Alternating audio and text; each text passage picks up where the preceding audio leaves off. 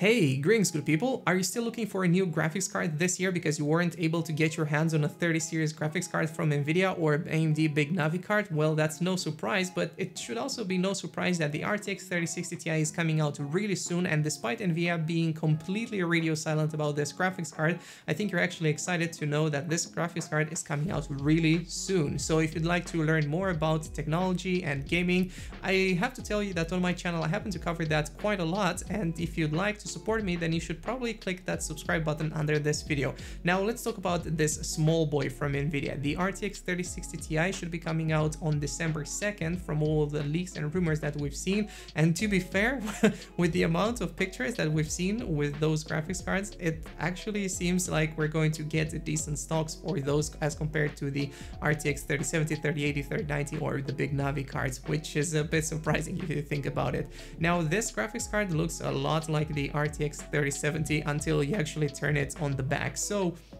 Let's talk more about it. Now it should come with 4864 CUDA cores and it should have the very same 8 gigabytes of a VRAM memory split across a 256-bit bus, which is pretty much what you would expect from a card that is based on the very same GA104 chip, so it should deliver very similar performance to the RTX 3070. Now, to be more precise, I should probably say to the RTX 2080 or 2080 Super, because if you look at the um, straight um, CUDA core count and then you look at the dedicated ray tracing cores, you're going to see that this one actually has only 38 ray tracing cores as compared to, I believe it was 46 for the RTX 2080 and 2080 Super.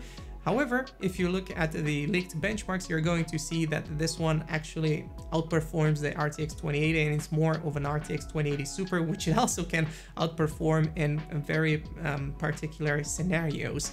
Now, this kind of makes me think that if you're going to uh, get this card for a 1080p monitor, you're actually going to be able to play um, Cyberpunk 2077 at launch. Hopefully, this one is actually going to launch on December 10th and they're not going to delay it anymore at 1080p high settings with ray tracing turned on and still get decent frame rates. Because if you look at the minimum requirements for that game this is also something I've already covered on my Moshpits episode but you know I'm going to do it over here again. At 1440p you're going to be able to play this with an RTX 3070 with ray tracing turned to high and still get very decent frame rates so are you excited about this card? Well you should probably be because the price is also a very good one. It will run you down about $399 or euros depending on where you live and I expected that to be 399 euros here in Germany for the Founders Edition. Of course, the um, custom AIB partner cards are actually going to cost a little bit more, but I would say don't spend more than 499 for this board because then you're getting into 3070 Founders Edition territory and you shouldn't.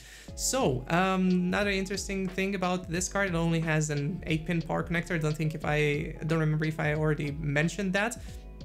And I think Nvidia has actually leaked a picture of the 3060 Ti themselves. If you're looking on their Twitter, you're going to see that.